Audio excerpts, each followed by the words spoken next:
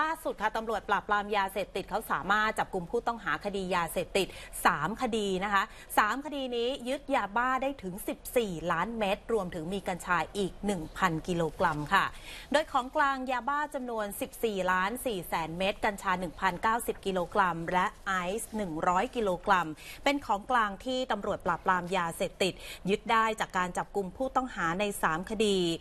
พลตำรวจเอกเฉลิมเกียรติศรีวรขานรองผู้บัญชาการตำรวจแห่งชาติบอกว่า คดีแรกตำรวจจับกลุ่มนายสื่อแสนกืออายุ 40 ปี พร้อมของกลางยาบ้า 8 ล้าน4แสนเม็ดหลังจากได้รับแจ้งจากสายลับว่านายสื่อ เดินทางไปรับยาบ้าจากชายแดนจังหวัดเชียงราย ก่อนเตรียมนำส่งไปยังลูกค้าในพื้นที่ภาคกลางกระทั่งวันที่ 10 กุมภาพันธ์ที่ผ่านมาค่ะตำรวจกองบังคับการก็สกัดกั้น การลำเลียงยาเสพติดจับกลุ่มนายสื่อได้ที่ถนนเลี่ยงเมือง สายลบบุรี สิงห์บุรีอำเภอเมืองจังหวัดลบบุรี พร้อมของกลางยาบ้าทั้งหมด ก่อนที่นำตัวไปขยายผล แล้วก็ยึดทรัพย์สินได้อีก 2 ล้านบาท จึงแจ้งข้อหาร่วมกันกับพวกหลบหนีมียาบ้าไว้ในครอบครองเพื่อจำหน่าย โดยไม่ได้รับอนุญาตส่วน